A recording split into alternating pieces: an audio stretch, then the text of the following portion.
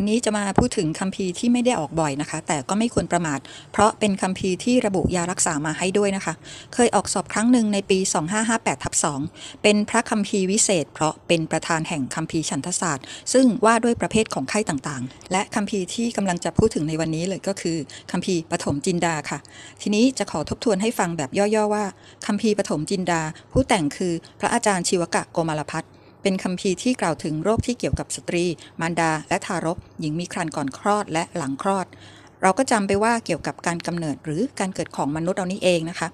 พูดถึงเรื่องก่อนที่จะมีมนุษย์เกิดมา มีเหตุการณ์อะไรเกิดขึ้นบ้าง ตั้งแต่ฝนตกหาใหญ่ 7 วัน 7 คืน จนน้ำท่วมชั้นพรมปุโรหิต ท่านเท้ามหาพรมทรงมีบุพนิมิตเห็นดอกอุบล หรือเล็งเห็นดอกบัวห้าดอกผุดขึ้นเหนือน้ำ จึงบอกแก่พรหมทั้งหลายถึงแผ่นดินใหม่ที่ตั้งขึ้นจะบังเกิดพระพุทธเจ้าห้าพระองค์ จะขอเรียกย่อๆว่า 1. พระพุทธกักุสันโธ 2. โกนาคม 3. กัสสปะ 4. สมณโคดม 5. สีอริยะเมตไตร เมื่อเกิดบุพนิมิตแล้ว น้ำค้างจากฝนที่ตก 7 วัน 7 คืนได้รวมตัวปะปนกันจนข้น ดังสวะลอยเหนือน้ำหนา240,000โยชน์ จากนั้นก็เริ่มกำเนิดสัตว์ที่มาปฏิสนธิบนแผ่นดินใหม่นี้ ซึ่งแบ่งเป็น 4 พวกคือ 1. เป็นตัวเกิดในครัน 2. เป็นไข่เกิดในฟองฟัก 3. เป็นหนอนเกิดจากเปลือกตม 4. อยู่ๆก็เกิดเองเรียกว่าอุปปาติกะ โดยศัพท์ด้านการแพทย์แผนไทยมีชื่อเฉพาะคือ 1. เป็นตัวเรียกว่าชลามพุชชะ 2. เป็นไข่เรียกว่าอันทชะ 3. เป็นหนอนเรียกว่าสังเสทชะ 4. เกิดเองเรียกว่าอุปปาติกะ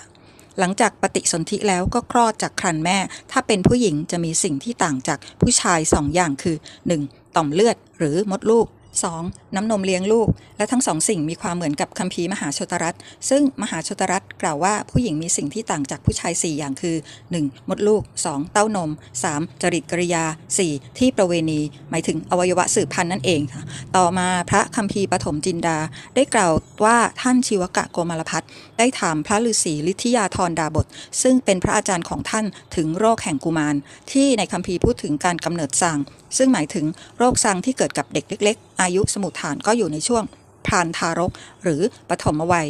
คำว่าซางบางตำราสะกดด้วยซอโซสระอา งองู หรือบางตำราสะกดด้วยทอทหาร รอเรือ สระอา งองู บางทีเรียกว่าซาง บางทีเรียกว่าตาลซาง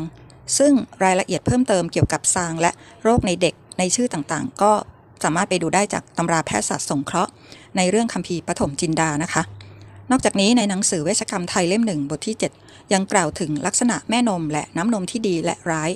มีการกล่าวเชื่อมโยงไปพร้อมกับคัมภีร์ฉันทศาสตร์ ที่เกี่ยวเนื่องกับกำเนิดซางและยาที่ใช้รักษา รวมถึงในคัมภีร์ปฐมจินดายังกล่าวถึง ลักษณะการตั้งครรภ์ของสตรี ได้แก่ครรภ์รักษา ครรภ์วิปลาสครรภ์ปริมณฑลและครรภ์ประสูติซึ่งต้องไปดูเพิ่มเองนะคะ ส่วนในเรื่องตำรับยา ก็ต้องไปดูเพิ่มเติมในตำราเวชกรรมไทยเล่ม 2 บทที่ 10 การใช้ยาเฉพาะโรคข้อ 8 ประเภทยาสำหรับเด็ก ยกตัวอย่างในปี 2558ทับ2ออกสอบเรื่องสางฝ้ายและยาประสาเปราะใหญ่